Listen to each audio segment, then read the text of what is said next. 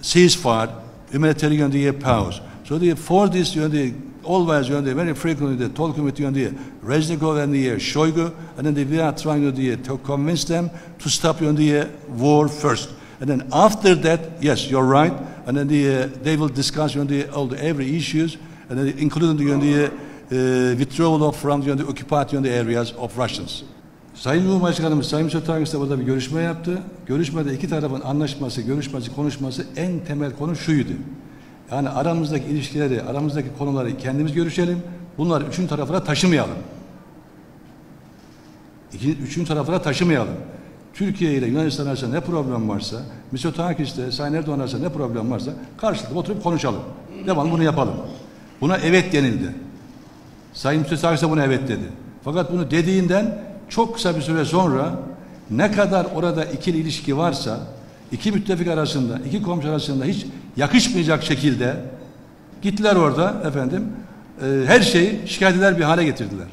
Ya bu aslında Yunanistan'ın da egemenlik haklarına, bağımsızlığına aykırı bir şey. Her şeyi oradan istediler. Bu bir.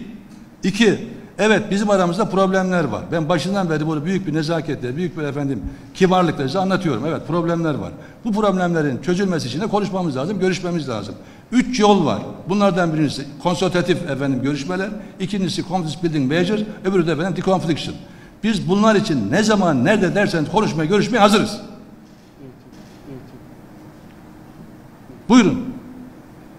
Konuşalım diyoruz. Evet problemler var. Çünkü problemler kompleks. Çok, çok problemlerin hukuki boyutu var, coğrafi boyutu var, tarihi boyutu var, efendim maddi boyutu var, askeri boyutu var.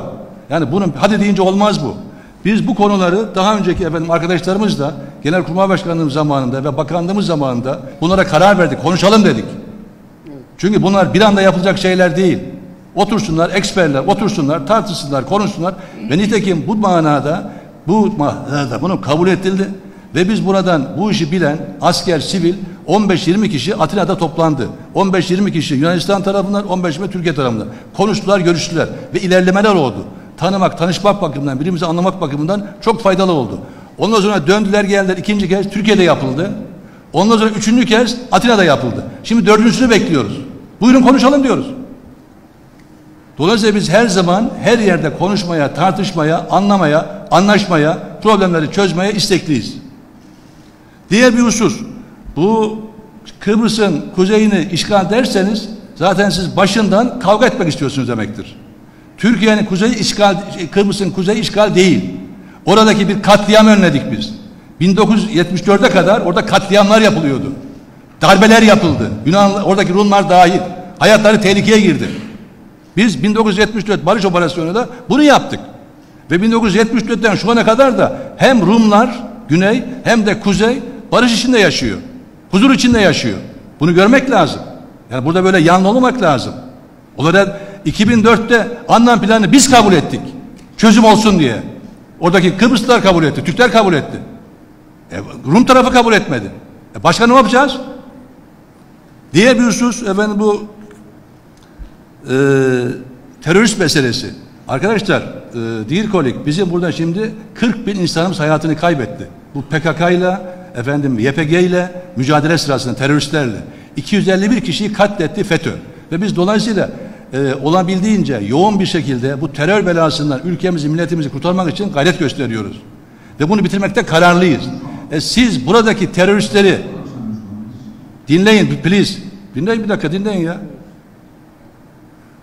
E, biz, ve bu teröristleri bitirmekte kararlıyız. Bizim başka bir amacımız yok. Eğer siz bu bizim mücadele ettiğimiz, halkımıza zarar veren, 40 bin kişiyi öldüren, 251 kişiyi katleden, PKK'ya, YPG'ye, efendim e, FETÖ'ye orada kampta yer verirseniz bunu adı ne olursa olsun dostluğa aykırıdır bu. Bu efendim ittifakı da bozar, müttefiklik ruhuna da aykırıdır. Oradaki ona yok demeyin orada Lavrion kamp bunu bilmeyen yok. Bilmeyen yok. E aynı şekilde İsveç'te efendim İsveç. Orada İsveç'te PKK'lılar, YPG'liler her şeyi yapıyorlar. Her şeyi yapıyorlar. Yani bunun ne insanlıkla, ne efendim gelişmişlikle, ne demokrasiyle, ne insan hakları hiçbir alakası yok. Yani teröristler bunlar. Bu teröristlere bu kadar efendim imtiyaz verilirse, bu kadar fırsat verilirse, onlar bize karşı olursa bizimle tabii o insanlar beraber olmak istemeyişimiz gayet normal. Dolayısıyla tekrar şimdi biz başa dönüyoruz. Lütfen gittiğiniz zaman işte parlamentoda gittiğiniz zaman oradaki Yunanlı arkadaşlarımızla asker sivil yani biz görüşmek istiyoruz. Görüşmeler yoluyla, konuşmalar yoluyla o bizim başlattığımız yani ikisi Atina'da olan, biri efendim An şeyde Ankara'da olan görüşmeyi ben çok önemsiyorum. Şahsen de çok önemsiyorum. Yani bunu destekleyin siyasiler olarak. Konuşalım, görüşelim. Siyasilerin önüne askerler bir şey getirsinler, çözüm getirsinler. Ve siyasiler de bunu evet veya hayır desinler. Ama öbür türlü biz çözümü başka ülkelerde, başka parlamentolarda konuşarak çözmeye çalışırsak inanın size de zarar, bize de zarar. Size de zarar, bize de zarar. Böyle bir takım böyle silahlanma şeyleyle inanın bunda bir yere varamazsınız. Varılamaz. Çözüm değil bu. Bu çözüm değil. Bu zaten zor şartlarda, efendim ekonomik şartlarda olan Yunanistan'a bir de böyle silahlanma gayretleriyle yapılan çalışmaların hepsi öncelikle Yunan halkının refahını bozuyor. Buradaki ittifakı bozuyor. Buradaki işbirliğini bozuyor. Yani bunlara girmeden konuşmak yoluyla, uhuletle, suhuletle, barışçıl yol ve yöntemlerle, medeni insanlar olarak çünkü bizim Türk halkıyla Yunan halkının birbirini tanıdığına biz inanıyoruz. Yani bir sürü bizim tarihi, coğrafi, kültürel bir sürü ortak yanımız var. Biz konuşma, görüşme yoluyla buna çözebiliriz. Buna siyasilerin de evet demesi lazım. Ön ayak olması lazım. As I said from the very beginning, I am saying you know, our you know, the problems between the Turkey and the Greece, you know, the, not you know, the simple problems. Because of you know, the historical background, because of the international the law problem. So the, we need you know, the, to work on those issues you know, in detail. For that reason, I requested my colleague, you know, the the counterpart, you know, the minister, you know, some years ago, and we established the confidence building measure talks. Two happened in uh, Greece, as I said before, and one happened in Ankara. So this is expertise issues. And uh, you cannot you define, you cannot explain all those issues in, in one minute. You can, it is impossible. Very complex problems. So the, for that, we have to come together. And we have to have a meeting. And then we have to discuss in general. And then the, we have to you know, the Lausanne Treaty, you know, the Paris Treaty. There are lots of lots of you know, the references. So are lots of you know, the issues. Number one. Number two. 27th of the April, Greek aircrafts, 234, violated the airspace not in or any island, in our mainland, Datça, Didim, Dalaman. Look at your uh, map on the 27th of April. Please note, you are asking a question, so the, you have to get you the answer. The, on the 27th of April, your aircraft, Greek aircraft, or uh, violated the uh, Turkish airspace over the Dalaman, Didim, Dacha on the 27th. After that, what do you expect us to do?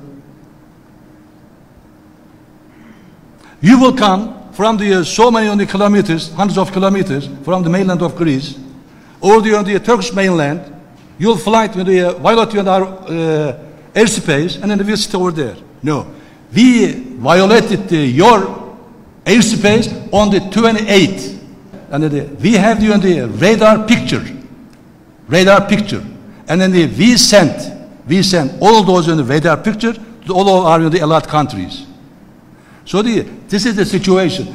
By this way, we cannot solve the problem. Please, please note. So the, please support those in the uh, talks, support those in the uh, meetings, and they put together on the expertise, military and the civilians, Turkish side, Greek side, they will discuss and they will find a solution. And then the, after that, politicians, prime minister, will say or no. But until then, they have to discuss. Otherwise, they are not going to will talk. We'll continue to talk. Thank you.